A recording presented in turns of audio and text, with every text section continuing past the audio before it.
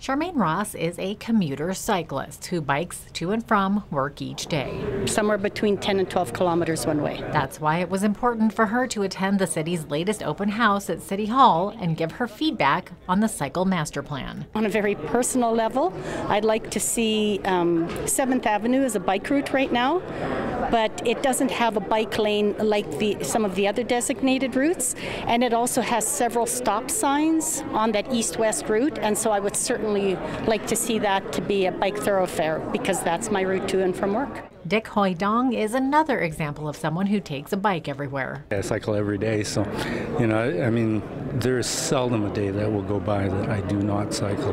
Even minus 30? But minus 30, icicles in my whiskers. And it's avid commuter cyclists like these folks that the city is hoping to receive feedback from. Big time cyclist?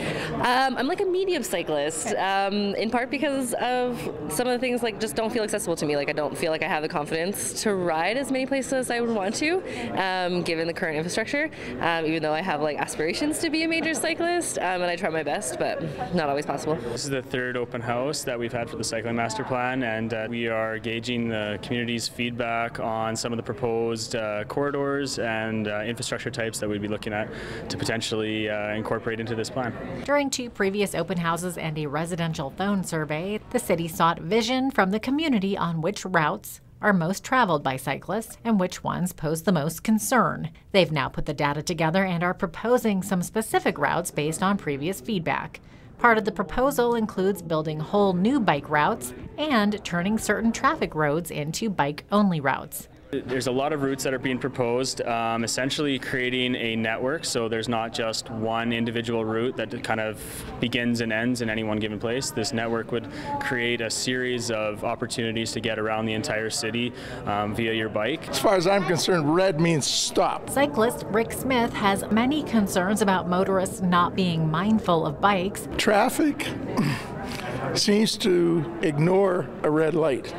You still get individuals in vehicles turning right without even stopping.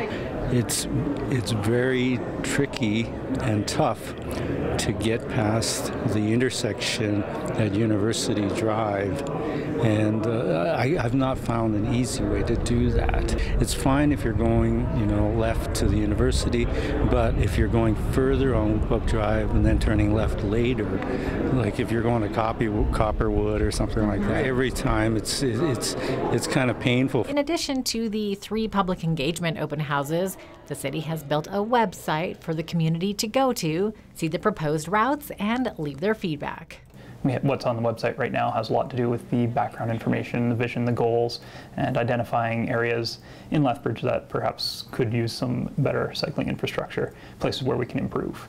I'd really, really encourage um, citizens, people who live in Lethbridge, to go to the website and give them feedback on what they think are the best routes. It needs a lot of public feedback because it's hard to, for any one person to say what are the routes that we most need because really everybody has to say what are the routes that they most need to get where they want to go. So the more people who participate in this process and make themselves heard, then that's how we get the best infrastructure for the city.